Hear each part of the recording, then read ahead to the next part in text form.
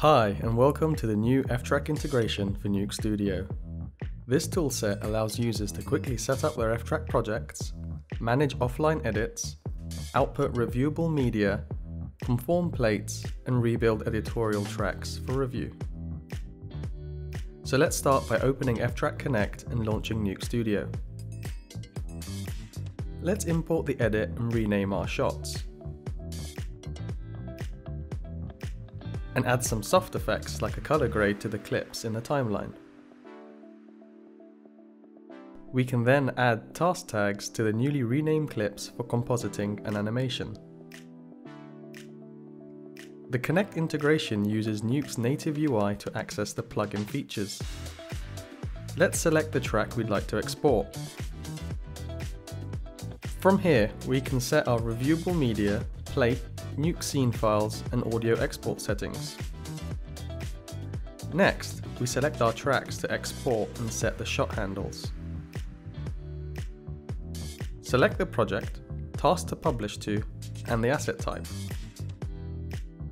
Using Nuke Studio's native export UI, we can customize task attributes like the output resolution and file format.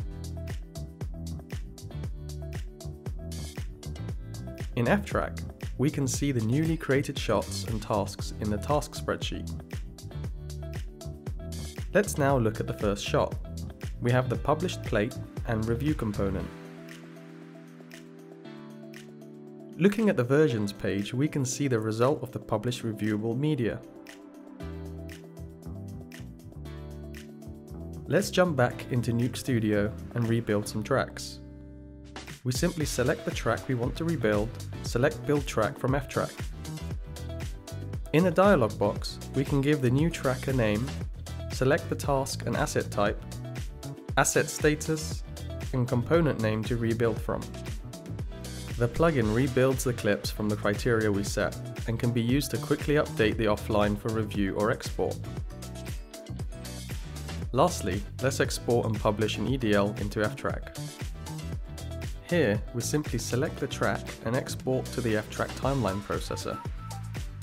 Back in ftrack, we can see the created EDL has been published to the project and is ready to share with other team members. As with all of our integrations, the Nuke Studio plugin is free to install and is open source, so you can extend it further. To learn more, visit ftrack.com.